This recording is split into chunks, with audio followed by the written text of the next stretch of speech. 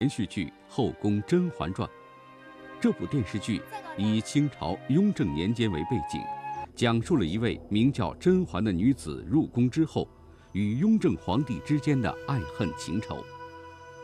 这部电视剧把清朝后宫描写成勾心斗角、尔虞我诈之地，而雍正皇帝则是一位薄情寡义、心狠手辣的君王。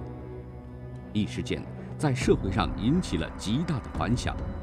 人们不禁要问：在真实的历史上，是否存在甄嬛这个人？雍正皇帝的后宫是怎样的？雍正又是一个怎样的人呢？坐落于河北省易县的清西陵是清朝三处皇家陵园之一，这里埋葬着清王朝四代帝王。第一位埋葬在这里的，就是满清十二帝中。最难以描述的一位雍正皇帝。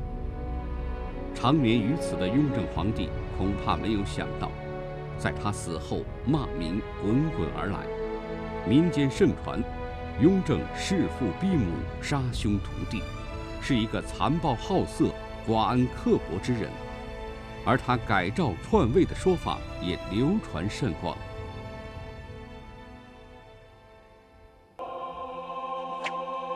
从雍正登基的那天开始，到现在整整二百九十年，雍正是合法继位还是非法篡位，在民间和史学界始终充满争议，一直是清初三大谜案之一。康熙晚年，他的九个儿子觊觎皇位，互相结党营私，明争暗斗。引发了史上最残酷惨烈的皇位争夺，被称为“九子夺嫡”。在长达十几年的皇位争夺中，其他皇子逐渐失势，唯有皇四子胤禛和皇十四子胤禛不断受到康熙的重用。皇四子当时掌管户部，打击腐败。治河赈灾，取得了很大的成绩。而皇十四子驻兵西宁，平定西北，也立下了赫赫战功。他们俩成为了皇位最有力的竞争者。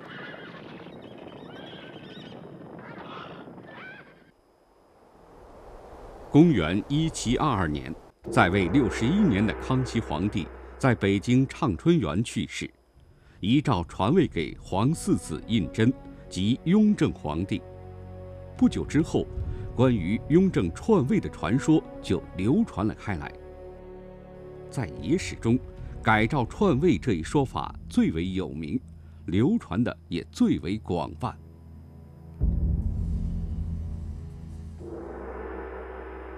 这是一九九一年拍摄的电视剧《雍正皇帝》。雍正是如何继位的？里面就采用了改诏篡位的说法。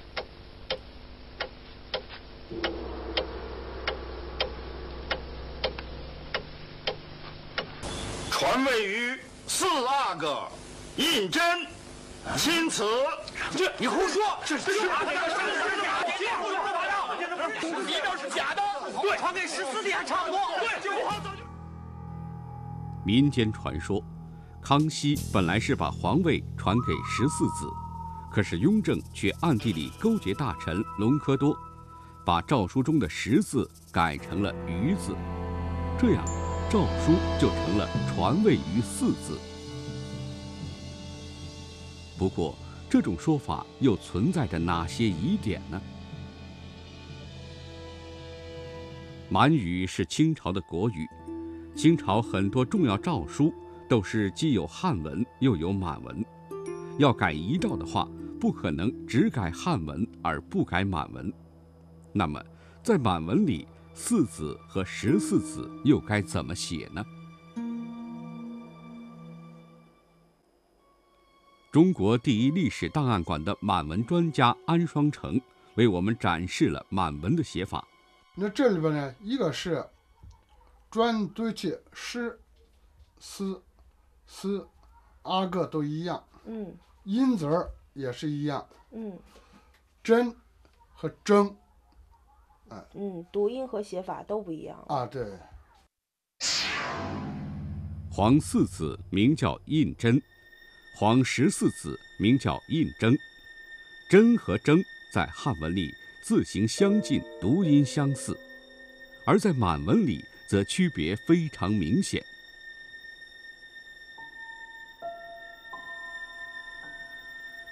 在格式规范的皇帝诏书里，要不留痕迹地删掉满文的十字，把“征”改成“真”，并不太可能。清朝皇子啊，必须是皇。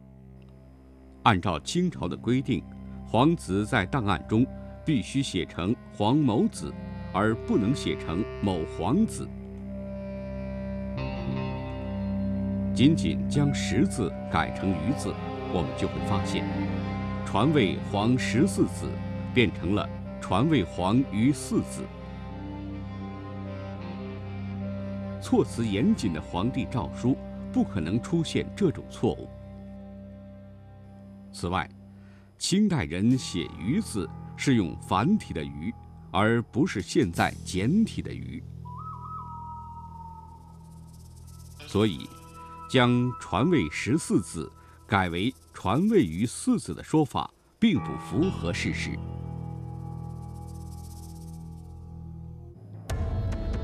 根据《清圣祖实录》的记载，康熙在他病危当天的凌晨，紧急召见了七个儿子和大臣隆科多。这时候，康熙传下了遗言，里面就有“皇四子雍亲王，身效朕功”。必能克成大统的话语，也就是让后来的雍正皇帝继承皇位。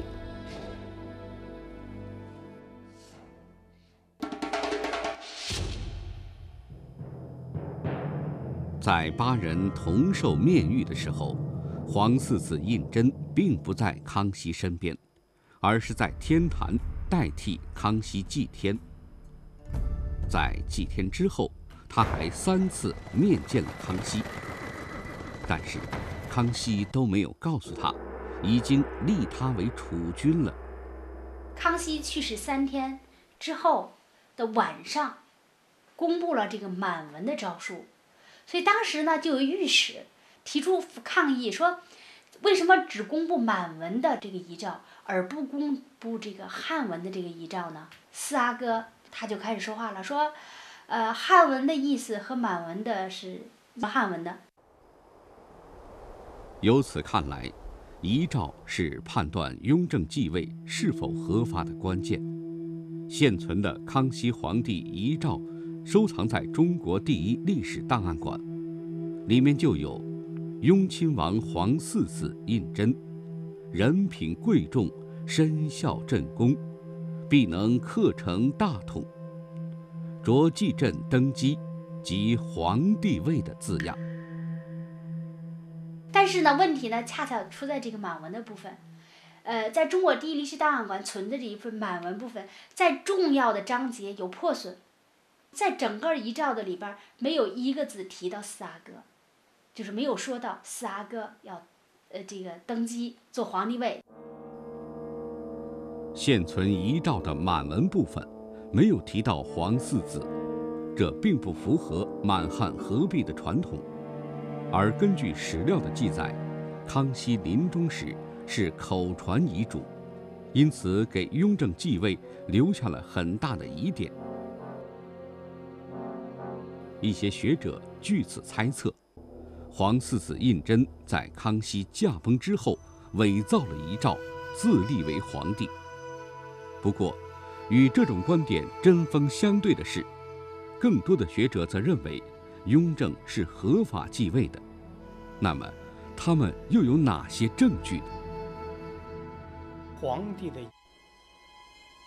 康熙皇帝的遗诏属于口授遗诏的形式，尽管它存有一些疑点，但这一派的学者认为，到现在为止，并没有发现确凿的证据。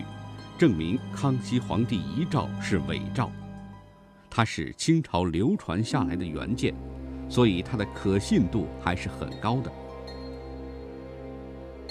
那么，皇四子胤禛在康熙心目中的地位如何？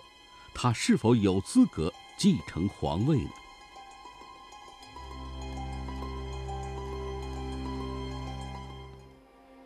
在康熙传下遗嘱的时候，皇四子胤禛正在天坛祭天，国之大事在祀与戎。他的意思是，国家的大事重在祭祀和军事，祭天一般都是由皇帝亲自祭祀的。康熙当时已经病重，只派雍正代他祭天，说明康熙还是非常器重皇四子胤禛的。而根据《清圣祖实录》的记载，为四阿哥朕亲抚育，至其能体朕意、爱朕之心，殷勤恳切，可为成效。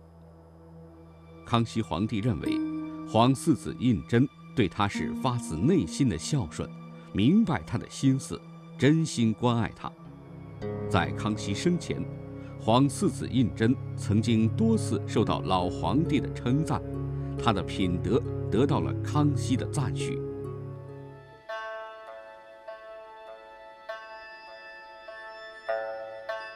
在清东陵乾隆陵墓前，为乾隆皇帝所立的玉陵圣德神功碑中有这么一句话：“于是卓然有太王遗孙之见，而宴议之志亦定。”这句话。引用了周朝太王因为看重他的孙子姬昌，就是后来的周文王，而立姬昌之父为王的故事。他的意思是说，康熙因为看重孙子弘历，而下定了传位给雍正的决心。雍正的儿子弘历少年时深得祖父康熙的喜爱，并且带在身边亲自调教。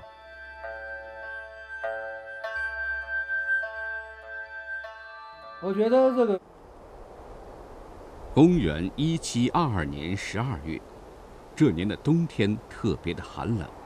六十九岁的康熙皇帝走到了他生命的尽头。在康熙皇帝驾崩之后，四十五岁的雍正皇帝接掌了大清。雍正的迅速登基，客观上维护了政局的稳定，他的治国才能。也得到了人们普遍的认可。然而，在雍正皇帝十三年的执政生涯中，他的生活和他的死亡，却都隐藏着巨大的谜团。